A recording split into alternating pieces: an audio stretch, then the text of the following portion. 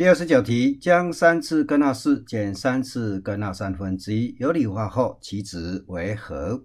有听有意思呢？我们来有理化呢这个数。那么首先呢，我们来看它的分母。它的分母呢，如果我们把三次根号四，那么这个数呢，我们把它称为是 a。那把三次根号三这个数呢，啊，我们把它称作是 b。那么因此呢，我们原来这里分母呢就是 a 减掉 b。啊，所以呢，我们来做有理化的时候啊，就来求呢这个数乘上呢它的有理化因子。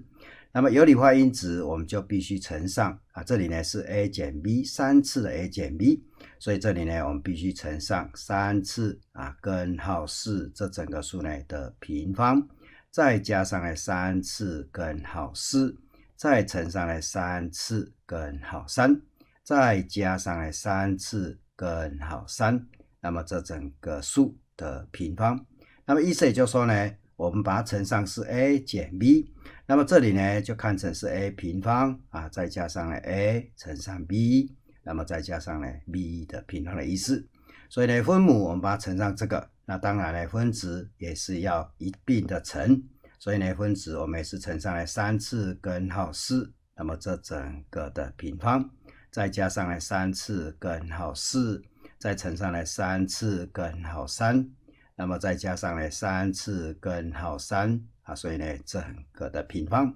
那么因此呢，经过这样子有理化之后，我们得到呢它的分母，那么就是呢 a 的三次方，也就是呢三次根号四。那么这整个数的三次方，再减掉来三次根号三，那么这整个数的三次方。那么分子的部分呢，就是我们刚刚乘上有理化因子的这个数啊，所以呢，我们就把它展开来。那么因此呢，三次根号四的平方就得到呢是三次根号四的平方是十六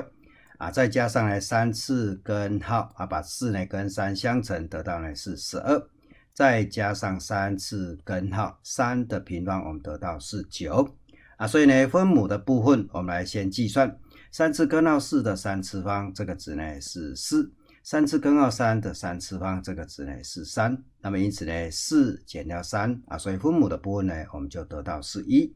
那么因此呢我们就把分母的部分不写啊，剩下呢就只有是分子的部分，也就是呢三次根号十六，再加上呢三次根号十二啊，再加呢三次根号九，所以呢题目要来啊把这个数呢有理化啊，求它的值，我们计算结果呢得到是三次根号十六。加三次根号十二，加三次根号九，那么选项 A 呢，刚好就是三次根号十六，加三次根号十二，加三次根号九，所以呢，选项 A 就是我们的答案。